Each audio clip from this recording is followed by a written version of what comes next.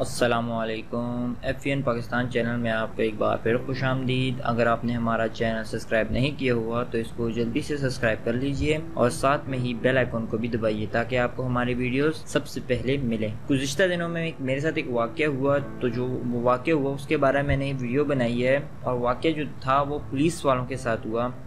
Basically ہمارے ہم ایک ہاسٹل میں رہتے تھے۔ اور ہم نے ایک رات ادھر گزاری اور دیکھیں جس طرح ایک کرائے نامہ ہوتا ہے اور ایک اسٹیمپ پیپر کے اوپر رجسٹریشن ہوتی ہے کہ آپ کرایہ دار ہیں تو وہ ہمارے پاس نہیں تھے کیونکہ ہم نے ایک رات گزاری۔ تو پولیس والوں کو کہیں سے خبر ملی ہمیں نہیں پتہ ان کو کہاں سے ان رپورٹ ملی تو وہ ہمارے پیچھے آئے اور ہم سے پتہ کیا، گھر کے اندر کوئی تلاشی لی اور ہم سے انہوں نے کرائے نامہ کا وہ ایک رجسٹریشن فارم مانگا۔ ہمارے پاس نہیں تھا تو ہمیں وہ اٹھا کے وہ پولیس تھانے لے گئے۔ پولیس تھانے جب لے کے گئے تو ہم وہاں پر دیکھتے ہیں کہ ہم سے کچھ بھی نہیں پوچھا کہ ہمارا جرم کیا ہے، کچھ بھی کچھ بھی نہیں پوچھا ڈائریکٹ ہمارا نام لکھا ہے، انہوں نے ہماری نیچے ہمیں ایک اور بیسمنٹ میں لے کے گئے، ادھر ہم سے تلاشی لی، ٹھیک ہے، اور سارا سامان ہم سے مطلب ضبط کیا، جو موبائل فون بٹوا، پر پیسے میں سے سارے کچھ۔ اور ادھر ہمارے سے بھی پہلے اور لوگ بھی بیٹھے ہوئے تھے، اور ان سے بھی وہ سارا اس طرح ہی سارا معاملہ ہوا، ان سے بھی پیسے میں سے لیے۔ بیسیکلی ان کا پیسے لینے کا مقصد اور سارے بٹوی تلاشی لینے کا مقصد یہ تھا کہ ان کو پتہ لگ جائے کہ اس بندے کے پاس کتنا مال ہے، کتنے پیسے ہیں، تاکہ ہم اس پہ اتنا مال وصول کر سکیں۔ بس انہوں نے ہمیں اس بٹھائے رکھا بٹھائے رکھا، تقریباً دس بجے کا ٹائم تھا، ہمیں رات کو اٹھایا انہوں نے، میرے ساتھ میں سے دو دوست اور بھی تھے۔ اور ہوا یوں کہ وہ لوگ ہمیں اس انتظار میں بٹھا رہے تھے کہ ایس ایچ او صاحب آئیں گے، آپ سب لوگوں نے ایس ایچ او صاحب سے ملنا ہے اور آپ کو پھر وہ فری کریں گے، نہیں کریں گے۔ ہم اسٹوڈنٹ لوگ تھے، ہم نے کہا ہمارا ہم نے جھوٹ بھی بولا، ادھر بہت سکے، ہمارا پیپر ہے، ہمارا یہ ہے، وہ ہے کہ ہمیں کسی طریقے سے یہ جانے دیں تو ہمیں چھوڑیں گے نہیں۔ ہمیں پتہ تھا، ہمارا ایک دوست ہمیں ملا، وہ آیا، اس کو کسی نے خبر دی۔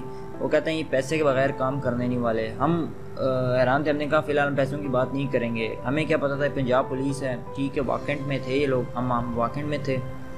اور واقعہ اس طرح ہوا کہ بات گیارہ بج گئے، بارہ بج گئے، ایک بج گیا، دو بج گیا۔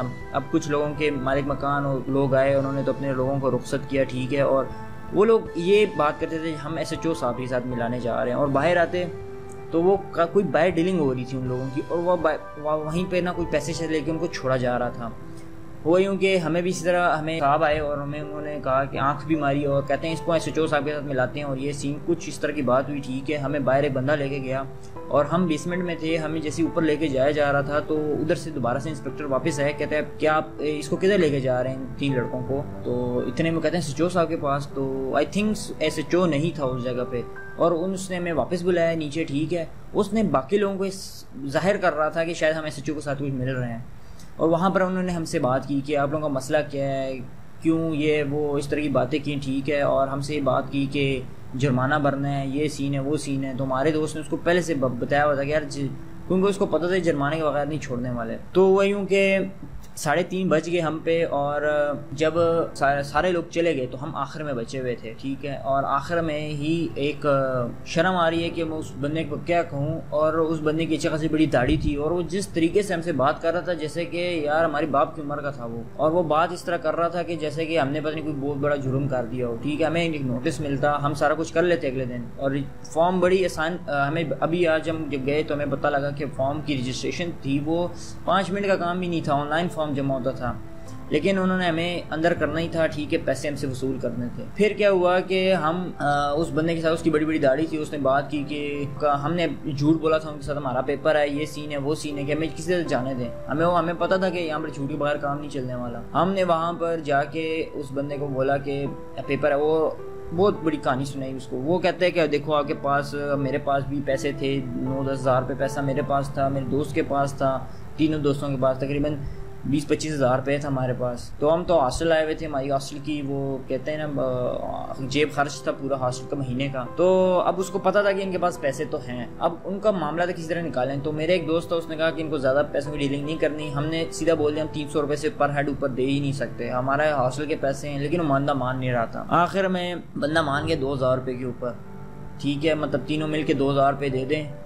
تو وہ بھی نہیں مانگ رہا تھا۔ وہ کہہ رہے تھے کہ لوگ یہاں پر پچیس بیس بیس ہزار روپے دیتے ہیں۔ آپ تو اسٹوڈنٹ لوگ ہیں، آپ کو ہم رائے دے دیتے ہیں، تین تین ہزار روپے دے دو۔ مطلب کہ اس بندے کو شرم تک نہیں آ رہی تھی کہ ہم اسٹوڈنٹ لوگ ہیں بڑی بڑی داڑھی اس بندے نے رکھی ہوئی تھی، پیٹ اس کا نکلا ہوا تھا۔ ہم تو یہ ڈر رہے تھے، ہمارے گھر والوں کو نہ پتہ لگے کہ کیونکہ رات کے تین بجے گھر کو کال جائے گی، کیا خیال ہوگا؟ ٹھیک ہے، آپ سارے ہمارے سبسکرائبرز ہیں، ان کو پتہ ہے، سارے پڑھے لکھے لوگ ہیں۔ ٹھیک ہے، ہم آئے باہر ہمیں، ہم پہ اسٹیمپ لگوایا گیا، انگوٹھا لگوایا انہوں نے کہ آپ نے پیسے سارے وصول کیے۔ جب ہم پیسے سارے وصول کیے، کہتے ہیں کہ پیسے پورے ہیں، پیسے ہم نے دیکھے پورے ہیں، اب کہتے ہیں کہ جرمانہ بھرو۔ تو ہماری بات ہو چکی تھی ان کے ساتھ، کیونکہ سب لوگوں کو بہلے کے جا کے کوئی نہ کوئی ڈیلنگ ہو رہی تھی۔ بھائی، کیا ہوئی بات؟ ہم اور جرمانہ شرمانہ ہم نے کو دو ہزار روپے دیے اور ہمیں چھوڑا انہوں نے۔ اور سارا معاملہ کیئر ہوا باہر گئے۔ تو قسم سے ہم نے کبھی سوچا بھی نہیں تھا کہ ہم کسی پولیس والے کو ایسا رشوت دیں گے اور یہ گناہ کا کام بھی ہم کریں گے۔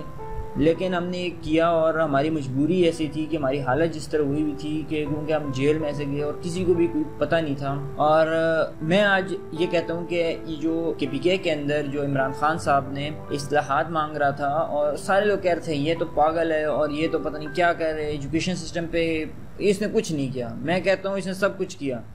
ابھی ہمیں اس نے رات کو رکھا اور میرے ایک دوست کہتے ہیں یہ پرچہ کٹے گا آپ کے اوپر۔ پرچہ کوئی نہیں کٹنا تھا ہمارے اوپر۔ انہوں نے سیدھے ایک کاغذ کے اوپر نام لکھا، ٹھیک ہے، وہ جو ان کا پاس ایک لیٹر پیڈ ہوتا ہے جس پہ پرچہ کٹتا ہے، وہ بھی نہیں تھا ان لوگوں کے پاس۔ وہ لوگوں پہ کچھ لکھ ہی نہیں رہے تھے۔